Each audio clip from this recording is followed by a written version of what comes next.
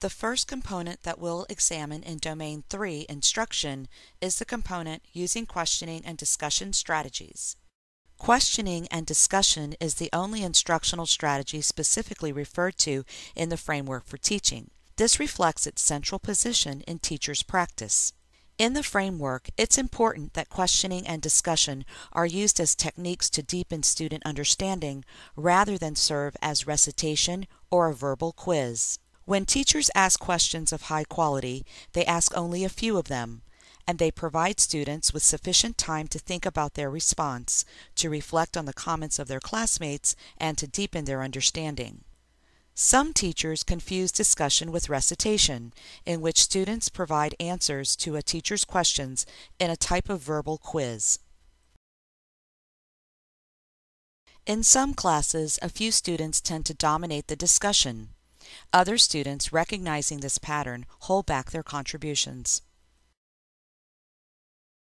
In a classroom where questioning and discussion techniques are being used, one would observe the indicators shown here. One would also observe high levels of student participation in discussion. What does a classroom look like where questioning and discussion techniques are being used? In a classroom where questioning and discussion techniques are used, you would observe the teacher asking, What might have happened if the colonists had not prevailed in the American Revolutionary War? the teacher asking, What are some things you think might contribute to? Or the teacher asking, Michael, can you comment on Mary's idea? And then Michael responds directly to Mary. Or the teacher asking a question and then asking every student to write a brief response and then share with a partner before inviting a few to offer their ideas to the entire class. What does a classroom look like where questions and discussion techniques are not being used?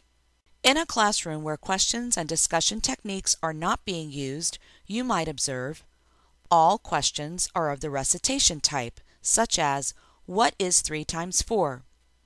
The teacher asks a question for which the answer is on the board. Students respond by reading it. Or the teacher only calls on students who have their hands up. In summary, good questions tend to be divergent rather than convergent. High quality questions promote thinking by students. Even when the question has a limited number of correct responses, it still promotes thinking. Class discussions are animated and engage all students. This concludes the presentation using questions and discussion techniques.